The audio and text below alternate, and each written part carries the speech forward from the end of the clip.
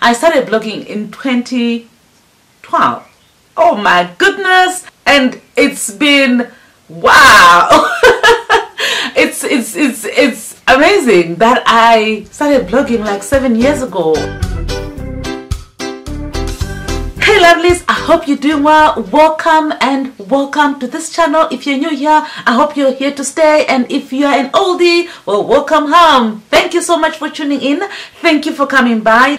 Around the 12th of July 2012 was my first blog on Natural Sisters. I can still remember at that time I was pregnant and uh, my goodness. I was pregnant and I had a difficult pregnancy. There was nothing that I could do besides blogging I was so bored and I thought okay let me uh, kind of make myself busy. Let me put this on silent because it's hectic. Okay.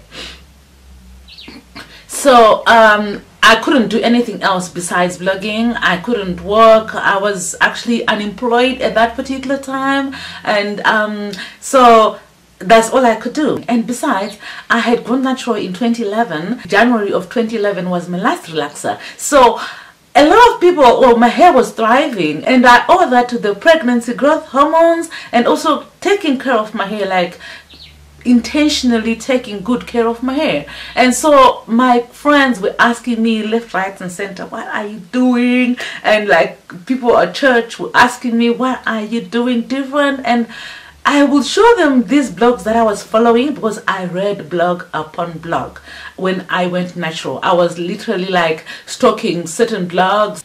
I'll show my friends these blogs and they'll be like, girl, these are mixed. We are not mixed. And our hair can never grow past shoulder length. And I was like, no, if you take care of it, it actually does grow. That's why you're asking me how my hair is thriving. And it's because I am using these same practices that these bloggers are using. And that's why my hair is thriving. It was a hard time really to try and convince them that actually African hair without any mixture of some sort African hair does grow. So I took the challenge and said, okay, look here, let me bring it back home. Let me also document my journey. And by then when I started blogging, I was still transitioning to natural hair because I did a two-year transition.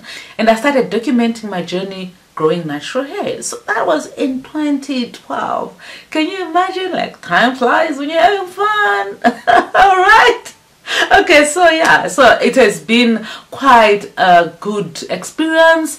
It has it has always been therapeutic actually for me writing because i love writing. I often don't find enough time to actually write. So the fact that i'm writing on a blog i'm managing a blog it encourages me to write even more and when i write i just feel okay like um in my space i feel so so good when i write. So basically that's why I started the blog, to find something to do and to write on a topic that I love so much, which is natural hair. I started doing hair when I was in grade 6. Like neighbors and neighbors' kids used to come to our house and I would do their hair, I would plait their hair, I would advise them on what products to use, you know, that kind of thing. So I've always been doing hair. As besides that, I went and got a college degree in mechanical engineering.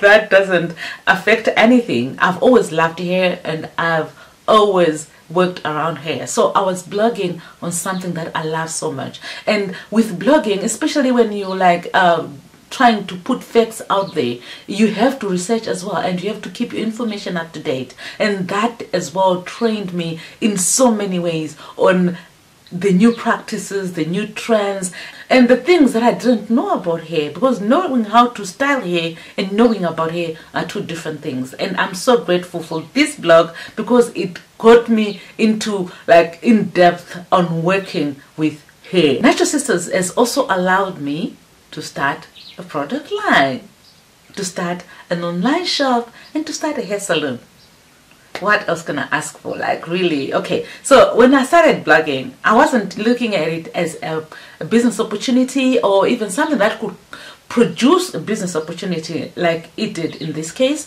I wanted to share my journey with you guys and in that process it birthed Natural Moisture which is the online shop and then Natural Organics which is the product brand that I actually founded. It also allowed me to start Nashe hair studio which was started in 2017 august of 2017 so actually next month is another anniversary you guys. So this blog just writing about hair just blogging about hair allowed me to do all those things. Like the opportunities that it opened for me the people that i've met the new friends. And you know like i never thought it would turn into this thing that it is now. No, definitely not. This blog also allowed me to have sponsored posts. I've had my fair share of sponsored posts and one of them was um, Darling and then we are talking of ORS, we are talking of Head and Shoulders. I had a whole one year contract with Head and Shoulders and then we also talking of other product manufacturers that have also got me on board as far as helping them to formulate for the African afro hair. So i had a number of sponsored gigs and speaking gigs. So that has been quite a lot of fun as well including being on tv several times. And i'm so grateful for all that opportunity that this blog and my hard work of course has given me. A lot of people have been asking me questions about starting a blog and how they can start a blog and how um what they should blog about and I'm like, okay, it depends on why you want to start a blog. Is it for income? Then you're gonna have to do that a lot, like really get into it. There is hard work. There's nothing like uh, it's easy money or it's an easy going thing. Is even if you're blogging as a hobby, it is a lot of work. I have been blogging for a very long time as a hobby and even up to now I don't depend financially on the blog but it has been a labor of love and it is quite a lot of work one of the things that you need to consider when you want to start a blog is why you want to blog for me it was basically the love of writing and the fact that I wanted to document and share my natural hair journey. That's basically why I started blogging. So for you you may want to consider that question which is very important and the first question that you have to get an answer to. If you answer that question very well why you want to start blogging?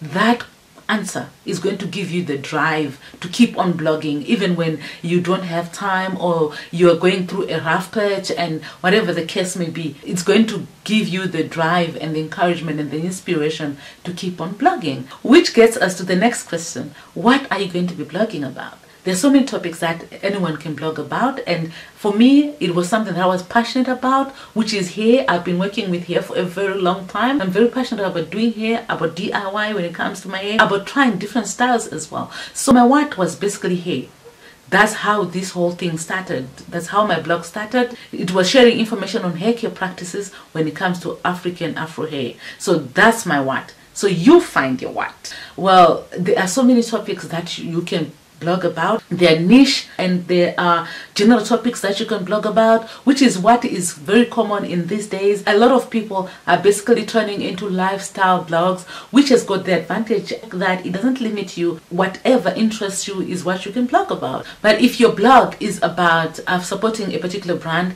then you're kind of limited in the kind of content that you can put out there because it has to be something that is relevant to your brand so that you can represent the brand very well. So that's the the what are you going to be blogging about? And you have to come up with a plan on how you're going to get financial support or if you're going to be getting any financial support from that blog at all you have to think out all these things. Because if you're going to be supporting a particular brand then you may not need to monetize your blog. But if you put out content that has nothing to do with a particular brand then you may want to monetize your blog at a particular point, especially if you're spending a lot of time creating posts, creating content for your viewers or your readers, your followers, then you may need to find a way of monetizing the blog either through advertisements or through sponsored posts or through sponsored gigs. Well these normally come after some time after you've accumulated a reasonable following for these brands to pick you as a content creator that is going to be able to work as an influencer for their brand. So that comes after some time. You cannot come in after posting two posts and then expect a brand to actually sponsor you as an influencer because they are looking at your sphere of influence. How many people are you actually going to be able to influence on their brand or about their brand. So that's another thing that you have to take into consideration that there's some hard work that actually happens before you start getting sponsored gigs. The other question that you need to ask yourself is where you're going to be blogging. There's so many avenues and so many platforms that you can actually use for blogging nowadays. There's so many content creators and influencers that are doing micro blogging on Twitter, for example. You can become a Twitter specialist, someone who tweets like nobody's business. You can do your blog on Instagram, on Facebook, on Blogspot, or on WordPress, or a self-hosted blog, which is what I have because Natural Sisters is naturalsisters.co.za. I prefer a self hosted blog because it gives me a lot of control as in what is going to be on my blog. And things like instagram and twitter and facebook are there to help me to actually promote the posts that i have put on my personal blog. So that's how i like it. So you will have to decide on where you want to blog. I'm not so good at this. But the other thing that you have to consider is how often you're going to be blogging. When you're a content creator, consistency is very important.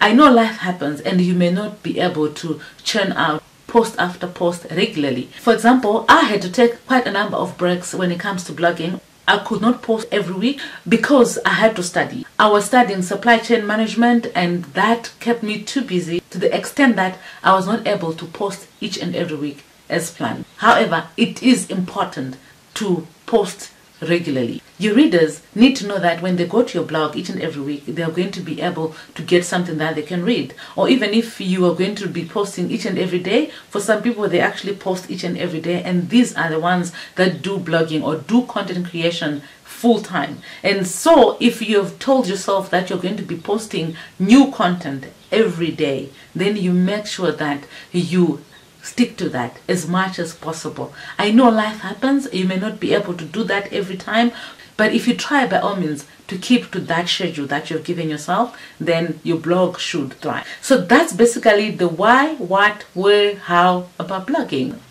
Just to recap, you need to consider why you want to start a blog, what you're going to be blogging about, where you're going to be blogging, whether it's going to be on Twitter, on Instagram, YouTube, or your self-hosted blog, and how frequent you're going to be blogging. That's very important. You guys, that's all from me today. Thank you so much for watching and please, please do subscribe to this channel if you want to get more content like this one or the hair videos that I've done before. And please give me a thumbs up. You have no idea how much that helps me. If you give me a thumbs up then YouTube is going to show this content to a lot more people. So please do give me a thumbs up what's your takeaway from this video i would like to know. So please put it in the comment section below. I don't want this to be a monologue. I need as much feedback from you guys. So let's turn this into a conversation. Have you thought about starting a blog go on. Give birth to that idea. If you don't give birth to it it will remain a dream. And if it remains a dream you're the one to regret why you didn't start it. So you don't have to start with sophisticated equipment or a lot of time on your hands if you've thought about it, it's already conceived. So give birth to that dream and just do it. Thank you so much for watching. I will see you in the next one. God bless you. Bye.